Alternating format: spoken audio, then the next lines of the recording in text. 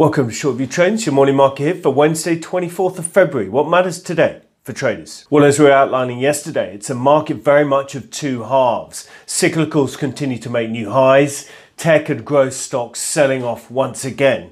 In fact, you can see that in the three way split of the US market that we put up in front of you now. The very top level, highest level sector split you can do really is cyclicals versus long duration growth versus defensive sectors, all equally weighted within those three key categories. And as you can see, as tech's been rolling over in recent trading sessions, cyclicals have been making new highs. And with that, we've got a pretty mixed message from many of our models and some pretty pri interesting price action as well in key leadership stocks. Have a look, for example, at Google, or Alphabet as it's now known. Having gapped higher on the 3rd of Feb, it's now rolling over and moved below those levels yesterday in yesterday's trading session, and no doubt heading back towards those lower levels we saw at the start of the year. Or indeed look at Apple. Apple's been rolling over since the 25th of January and the stock's really gone nowhere in the past six months.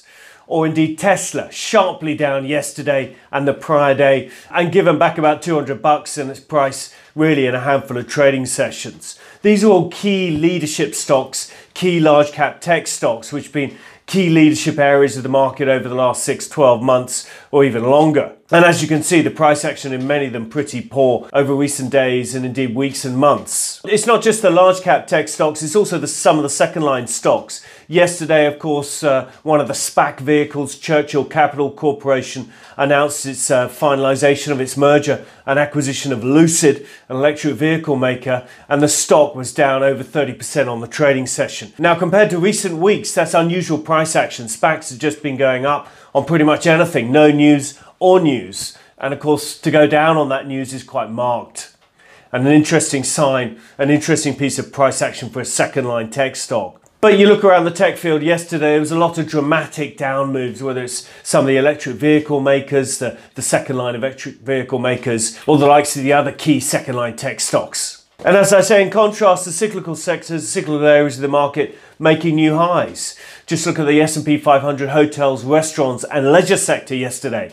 A new record all-time high was reached as the, as the market, that sector of the market moved sharply higher.